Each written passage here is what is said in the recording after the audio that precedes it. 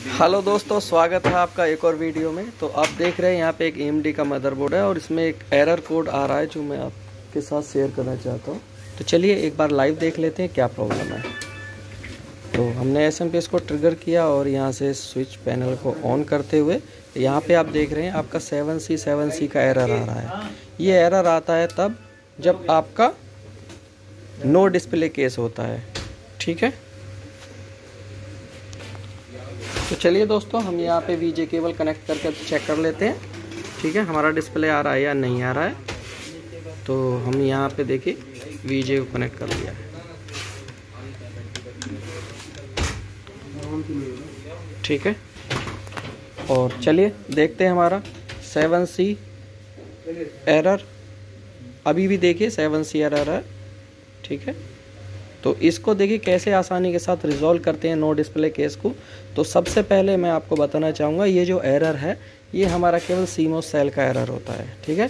तो आप देखेंगे, हम यहाँ पे सीमो सेल लगाएँगे और ये एरर और आपका जो नो डिस्प्ले केस है, वो कैसे रिजॉल्व होता है, आपको लाइव दिखाता हूँ। तो फिर ट्रिगर देते हैं और आप देखेंगे, यहाँ पे देखिए, आपका एरर कोड जो सेवन सी सेवन सी आ रहा था, वो आपका रिजॉल्व हो चुका है, ठीक है?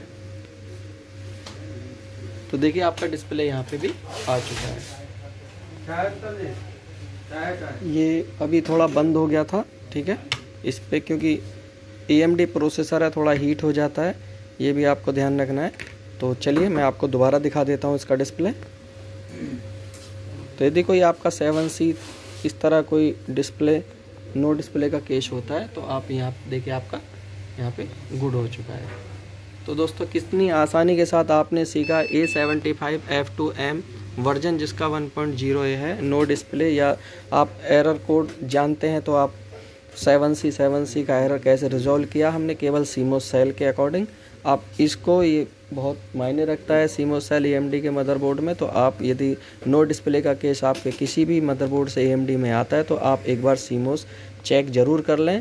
या तो आप उसके वोल्टेज चेक कर सकते हैं या फिर नया सीमो रिप्लेस करके अपने मदरबोर्ड को गुड कर सकते हैं।